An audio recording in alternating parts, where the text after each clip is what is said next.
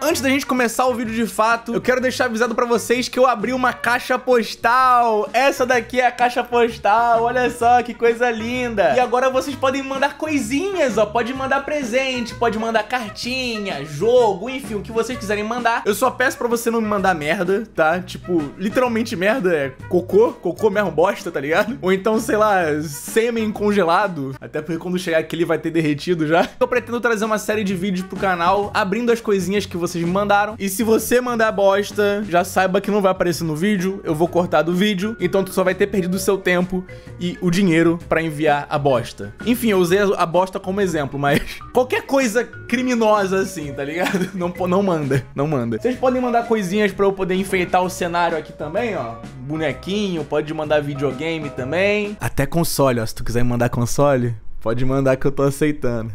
e é isso, cara. Eu tô animado pra fazer essa sériezinha abrindo coisas de vocês. Já fazia um bom tempo que eu tava querendo abrir uma caixa postal, porém a preguiça não deixou. E aí finalmente tomei vergonha na cara e agora já está aberta. Está aqui a caixa postal. Ela também vai estar na descrição do vídeo. Mas eu acho que é isso sobre a caixa postal. Pode mandar desenho também, fanart que você fizer. Enfim, manda o que tu quiser mandar. Desde que não seja coisa nojenta, né? Ah, e outra coisa importante que eu esqueci de falar. Não me mandem comida. Eu não vou ingerir nenhum tipo de alimento, seja bebida ou comida, tá? Pra minha segurança, eu preferi não arriscar. Eu sei que a maioria de vocês tem boas intenções e tudo mais, mas vai que tem um louco entre vocês aí, não sei, né? Então não me mandem comida, porque eu não vou comer. E agora vamos pro vídeo de fato, né? E no vídeo de hoje eu quero contar pra vocês a história do dia que eu cometi um crime. Foi a coisa mais nojenta, cruel e errada que eu fiz fiz em toda a minha vida. Eu não me orgulho nem um pouco do que eu fiz. Porém, para contar essa história, a gente precisa voltar a alguns anos atrás. Na verdade, mais de 10 anos atrás. Na época que eu conheci um jogo chamado Tibia. O Tibia é um MMORPG que foi lançado em 1997. E se eu não me engano, ele foi um dos primeiros MMOs a existirem, né? Um dos primeiros jogos a ter uma quantidade massiva de pessoas jogando juntas ao mesmo tempo no mesmo servidor. O Tibia atingiu seu auge lá no início dos anos 2000, pelo que eu me lembro, ele estava muito no hype mais ou menos entre os anos 2005 e 2008 por ali. E a primeira vez que eu ouvi falar no Tibia foi lá para 2007, quando eu tava na casa do meu primo Caio, e eu vi esse ícone no PC dele e perguntei do que se tratava, e ele me disse que era um jogo. E os meus primos eram muito, mas muito viciados no Tibia. Eu lembro que durante as férias, o meu primo Alan levava o PC dele pra casa do Caio e os dois passavam as férias todas jogando Tibia um do lado do outro, virando a noite dentro do jogo. Mas eu não podia jogar junto com eles porque eu ainda não tinha um computador nessa época. Porém, alguns anos depois isso mudou, porque lá para 2010 eu ganhei o meu primeiro PC de um tio meu, porque ele tava trocando os computadores da empresa dele, né, comprando novos PCs, e me deu um dos antigos. E ele era aquele clássico computador branco caixotão, e eu fiquei muito, mas muito feliz porque durante a minha vida toda eu sempre sonhei em ter um computador e finalmente eu tinha. Porém, como nem tudo são flores nessa vida, eu ganhei o PC, mas não tinha internet em casa. E eu fiquei mais de um ano usando um computador sem internet. Isso pode até parecer uma tortura vendo hoje em dia, mas na época eu consegui me entreter só com os programas básicos do Windows. Eu ficava fazendo desenhos no Paint, jogava pinball, paciência, por mais que eu não entenda paciência até hoje, e por algum motivo eu ficava transcrevendo pro Word as receitas que minha mãe tinha anotadas nos seus cadernos. Eu perdi muito tempo passando receita por receita pro meu PC e eu realmente me divertia fazendo aquilo por algum motivo que eu não sei até hoje. Mas depois desse longo um ano sem internet, o meu pai finalmente resolveu contratar um serviço de banda larga e eu pude pela primeira vez sentir a liberdade de ter internet em casa e nunca mais precisei entrar numa lan house. A favela venceu. Porém, como o meu PC era muito antigo até pra época, quase nenhum jogo rodava nele. Eu até tentei baixar um emulador de Nintendo 64 e os jogos rodavam assim.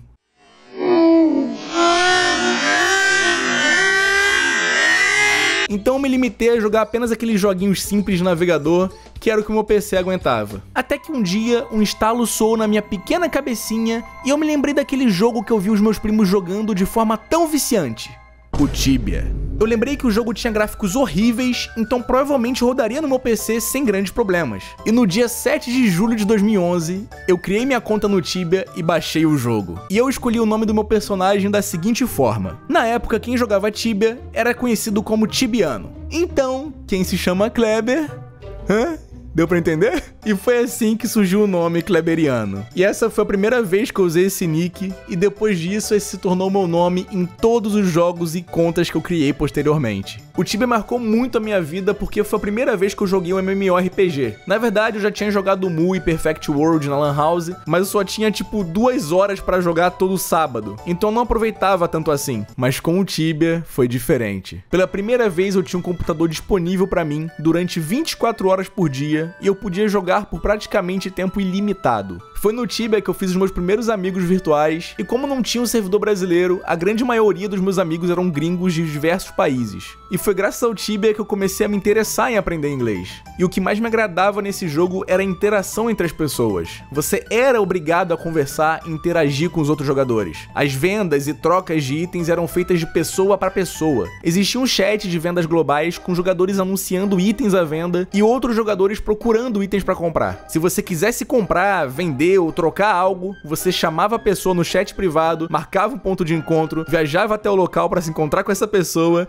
e finalmente fazia a venda ou a troca. Então você precisava saber o mínimo de inglês para fazer coisas básicas no jogo e o próprio jogo era inteiro em inglês. E o Tibia era aquele tipo de jogo que não te explicava bosta nenhuma. Ele não tinha tutorial ou setinha te guiando para onde você tinha que ir. Você simplesmente caía no mundo e tinha que se virar para descobrir o que fazer. Mas hoje em dia o Tibia já não é mais assim. O jogo foi ficando muito mais fácil ao decorrer das atualizações e agora tem até tutorial inicial. Mas eu entendo, eles tiveram que se adequar para atrair um novo público, né? Eu só queria deixar registrado aqui que enquanto eu tava gravando as imagens para esse vídeo, eu encontrei esse buraco no chão no meio de um caminho que eu já tava acostumado a fazer no jogo. Só que eu achei estranho porque esse buraco não existia na época que eu jogava. E eu resolvi entrar para ver o que tinha dentro e tinha esses bichos bizarros aí que eu nunca vi na minha vida. Eu não sabia o quão forte eles eram. Eu resolvi testar e aí eu morri. Sim, eu morri no Tibia depois de 10 anos sem morrer nesse jogo. E eu tenho tanta história que aconteceu no Tibia que daria pra eu ficar aqui durante horas falando. Mas a história que mais marcou a minha vida e me persegue até hoje não aconteceu no Tibia, mas sim no Poketibia. O Poketibia nada mais é do que um mod de Pokémon feito no Tibia. E diferente do Tibia, que você ataca com seu personagem, no Poketibia você usa os seus Pokémons para batalhar. Eu não tenho certeza de quando eu comecei a jogar o Poketibia, porque minha conta é tão antiga que no site só aparece que ela foi criada há muito tempo atrás. Mas eu chuto que eu devo ter jogado mais ou menos entre 2011 e 2012, se não me falha a memória. E eu fiquei muito surpreso quando eu baixei o jogo para gravar as imagens para esse vídeo e eu descobri que ainda tem muita gente jogando. Sim, tudo isso são players. A comunidade do Poketibia ainda é surpreendentemente muito forte, mesmo depois de 13 anos desde que o jogo foi criado. E eu parei de jogar porque apesar de eu ser muito fã de Pokémon, eu apenas acompanhei a primeira geração, né, os primeiros 151 Pokémons. E com o tempo o servidor foi atualizando e adicionando as novas gerações de Pokémons, e eu desanimei porque eu olhava para isso e pensava: por que Deus nos abandonou? Sério, o que é isso? E isso?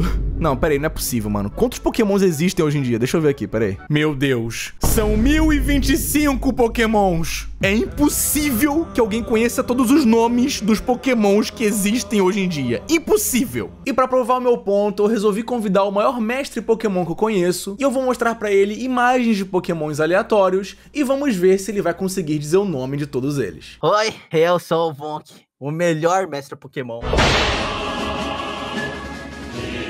Tá preparado, Vonk? Eu tô, Kleber. Pode mandar. Quero só ver, hein? Ó, primeiro, hein? Pra começar, meu Deus, que coisa é essa? Que é esse Pokémon, Vonk? Ah, esse aí, ó, é Shelgon. Qual o nome? Shelgon. O nome dele pra mim é Selgor. É Shelgon, é, o primeiro é Shelgon. Tu errou, tu errou, tu errou. que isso? A voz do cara.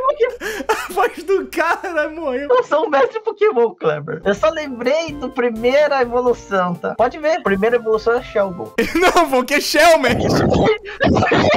Kleber. Tu errou tudo, cara. Eu não sei se vocês perceberam, mas o microfone do Vonk tava meio fudido. E eu comentei com ele, Vonk, seu microfone tá meio fudido. E aí ele percebeu que, ao invés dele estar tá usando o microfone dele profissional que ele tem, ele tava usando o microfone da webcam. E aí ele trocou e ficou perfeito. Alô, teste? Nossa, olha a diferença do microfone, cara. Tu tava falando dentro de uma caixa de socrilhos, sei lá, mano. Nossa, por que você não falou, Clever? Acabou com a minha vida. Acabou com a minha vida. Pode mandar outra. Tá aqui, ó. Putz, é o... Ah. Cara, parece uma espada. É uma espada com roupa isso aqui, cara. Não lembro, eu esqueci o nome dele, tá? Cara, olha as evoluções dele, cara. É uma espada. É uma espada. Olha isso, cara. Cara, tu pode pegar isso aqui e mandar pra qualquer pessoa. A pessoa não vai saber que isso aqui é um Pokémon, cara. Não parece um Pokémon, parece um item. Sabe qual é o nome, Vonk? Aigslash. É isso. Parece a cebola do Outback, cara. Que que é isso? Esse Pokémon nunca vi. Tu já viu a cebola do Outback? Vê se não parece a cebola do Outback isso, cara. Olha lá.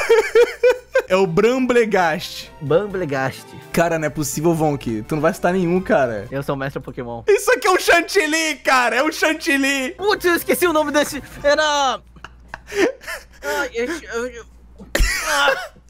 Alcreamy. Kleber, eu sou um mestre Pokémon. Não, e aí tu vai ver, tipo, isso aqui já é horrível, né? Aí tu vai ver a primeira evolução. É uma porra! A primeira evolução, cara. Que isso aqui? Putz, cara, eu não sei, cara. Infelizmente eu não. É. Ti, tirápia. A Rokuda. Quase, cara. Quase! Passou perto. Mas enfim, o ano era mais ou menos ali entre 2011 e 2012, e eu tava em uma caverna com meu War Turtle, caçando pokémons de pedra e conversando com outros jogadores no chat global. Até que eu recebi uma mensagem privada de alguém que eu não vou lembrar o nome porque já faz mais de 10 anos que isso aconteceu. A mensagem era de um garoto que claramente era uma criança pelo jeito que ele digitava, dizendo que ele queria muito ter VIP na sua conta, porém ele não tinha dinheiro para pagar VIP. E se eu não me engano, nessa época o VIP do jogo te dava acesso a áreas exclusivas com pokémons que só poderiam ser encontrados nessas áreas. E aí eu respondi o garoto falando algo do tipo, pô mano, que merda hein, mas relaxa aí que um dia tu consegue pagar pelo teu VIP e tal, e blá blá blá. E se eu não me engano, o preço do VIP era tipo 10 reais. Eu tenho quase certeza que era isso, mais caro do que isso não era. E na hora eu achei meio estranho, do nada uma criança vir falar comigo sobre VIP, eu não entendi muito bem porque ele veio falar comigo, porém essa minha dúvida foi respondida logo em seguida porque o garoto disse: Como você é DM, teria como colocar VIP na minha conta pra mim? Por favor? E foi aí que eu entendi o que estava acontecendo. No chat global tinha um administrador que se chamava Kleber. E o meu nick era Klebin. Essa criança me confundiu com Kleber ADM e veio me pedir VIP. Pois bem, o que uma pessoa de bem faria nessa situação? Uma pessoa de bem avisaria o garotinho, né, que ele se confundiu e que eu não era o ADM, certo? Certo? Exato! E foi exatamente o que eu fiz! Só que não! O que eu vou narrar agora vai ser o maior exemplo de crueldade que você irá testemunhar em sua vida. Eu não me orgulho nem um pouco do que eu fiz, e se eu pudesse voltar no tempo, eu teria tomado outra atitude totalmente diferente. Pois bem, Agora que eu tinha informação de que uma criança acreditava que eu era um ADM, tudo que eu fiz foi confirmar que eu era de fato um ADM. E eu disse algo do tipo: pô, cara, infelizmente não rola eu colocar VIP pra ti, porque isso é contra as regras, e se descobrirem eu vou acabar perdendo meu emprego, sabe? E o garotinho mordeu a isca. A sua próxima mensagem foi ele implorando e insistindo para eu colocar VIP em sua conta. Então, após algumas trocas de mensagens em que eu dizia que eu não poderia correr o risco de perder o meu tão sonhado emprego, e mesmo assim o garotinho continuava insistindo, pedindo VIP, eu mandei a minha cartada final. Olha, mano, eu até coloco o VIP na sua conta, mas só se você me prometer que não vai contar para ninguém. Porque se descobrirem, eu tô ferrado. E aí ele prometeu que não contaria para ninguém, então eu disse: "Beleza, me passa aí o seu login e senha que eu vou colocar VIP aqui para você". E ele realmente passou o login e a senha e eu não acreditei que aquilo realmente estava acontecendo. E aí eu disse para ele: "Beleza, vou colocar a VIP aqui para ti, mas você precisa deslogar da sua conta e esperar 5 minutos até poder logar de novo. Se você tentar entrar antes disso, vai dar errado". E ele disse: "Beleza" e ficou offline. E ele não sabia, mas essa foi a última vez que ele ficou online em sua conta porque eu fui correndo pro site, coloquei o login e a senha e realmente funcionou. E eu fiquei nervoso porque eu tinha a plena noção de que o que eu tava fazendo era muito errado. E a primeira coisa que eu fiz foi trocar a senha. E sim, era possível trocar a senha mesmo sem confirmação por e-mail. E para minha sorte, e pro azar da criança, ele não tinha um e-mail cadastrado. Ou seja, a partir do momento que eu troquei a senha da conta, ele não tinha mais acesso.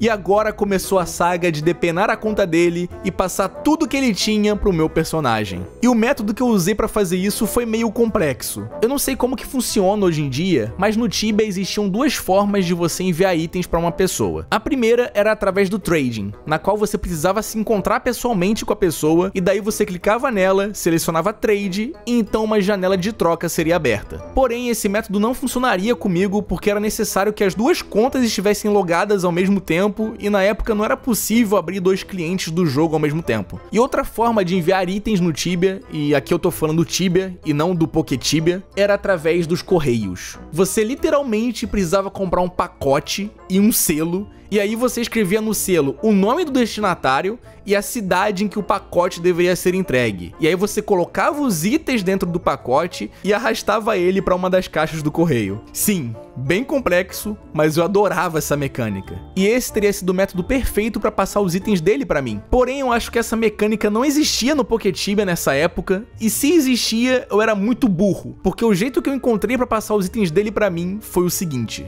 eu loguei na minha conta e procurei um lugar deserto onde com certeza ninguém passaria por ali e eu desloguei da minha conta. E aí eu loguei na conta da vítima, fui no depósito dele e peguei o máximo de itens possíveis que eu poderia carregar e fui até o local deserto no qual tinha deslogado com a minha conta e dropei todos os itens dele debaixo de uma árvore. E quando terminei de dropar todos os itens, eu loguei na minha conta e peguei os itens de novo com o meu personagem, fui até o meu depósito, guardei tudo e voltei mais uma vez pelado, sem item nenhum, pra cena do crime. Eu repeti esse processo várias vezes. Eu logava na conta da criança, ia até o depósito, pegava o máximo de coisa que ele tinha possível, voltava, escondia os itens debaixo da árvore, logava na minha conta, pegava os itens, ia pro depósito e guardava tudo. E um fato muito importante que eu deixei de salientar salientar é que o level dele era muito acima do meu. Eu era tipo level 30 e ele era level 80 e alguma coisa. E ele tinha muito item raro e muito Pokémon foda. Tá vendo esse Lapras aqui comigo?